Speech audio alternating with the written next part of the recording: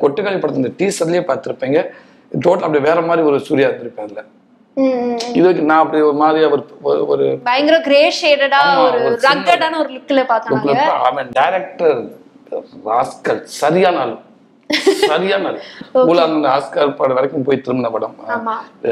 விக்னேஸ்வரன் பிரதரும் நேந்திரா மேம் தயாரிச்ச படம்? சிறந்த ஒரு இயக்குனர் அவன். சிறந்த ஒரு இயக்குனர் பெரிய இயக்குனரா தமிழ் சினிமாவனுக்கான சீட்டு இருக்குது. அந்த தம்பிக்கு உரிமையில சொல்றேன் நான் வேண்டு வெற்றிமாறன் சாருக்கு அவனை ரொம்ப பிடிக்கும். சிறப்பா பண்ணியிருக்கேன் எனக்கு கண்டிப்பா ஆஹ், இந்த படம் இன்னும் என்னை கையை பிடிச்சிட்டு ஓடும் நினைக்கிறேன் அந்த படம். ஓடியா ஓடியா ஓடியா ஓடியா ஓடியா ஓடியா ஓடு.